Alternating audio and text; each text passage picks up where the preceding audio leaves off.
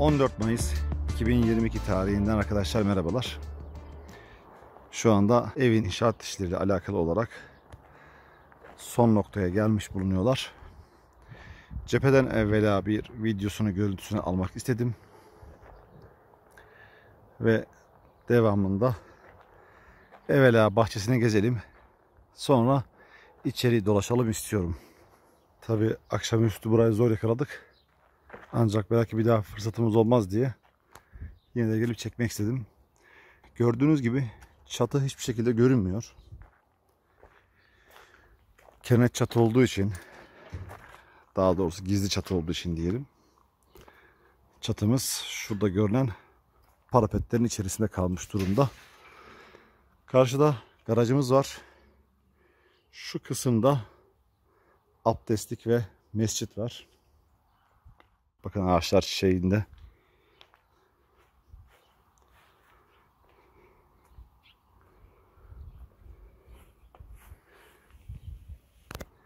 Elma ağacı.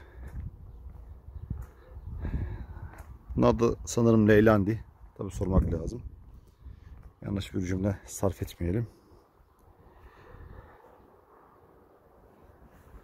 Burası hemen manzaraya bakan cephemiz. Dekoratif taşlar yerleştirmişler. Bu biraz daha farklı. Acaba denizden mi çıktı? Hazır mı? Bunu soracağız Salih Bey'e. Hemen minik bir burada hobi bahçesi gibi bahçe yapılmış. Bakın bölümlere ayrılmış. Bu da ilginç olmuş.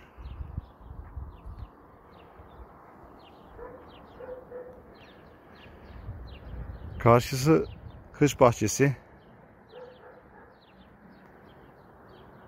Ve burası da malumunuz cephemiz. Çok güzel duruyor. Çatıyı hiçbir şekilde göremiyoruz.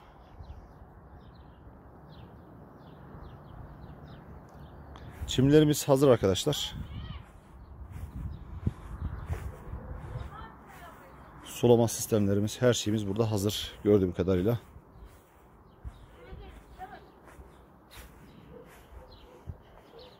Çok güzel kokuyor bu. Bunu çok seviyorum. Ayva ağacıydı galiba yandan geçtiğimiz. Bunu bilmiyorum. Herhangi bir ibare de yazmıyor. Bu vişne. Bu kiraz.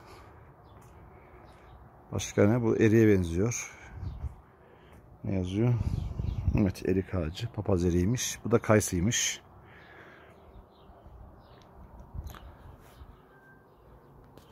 Burası da eve giriş yaptığımız cephe.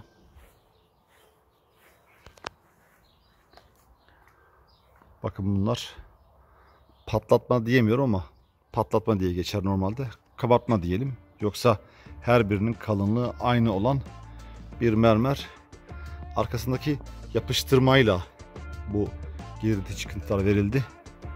Bunun da videosu zaten daha evvel görmüştünüz.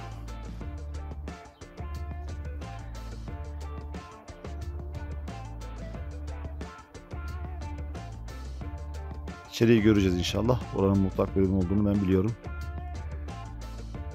Arkadaşlar burası böyle. Epey emek var. Bakın buranın üzerinde de kullanılan bir bölüm var ama çıkışı nereden bilemiyorum.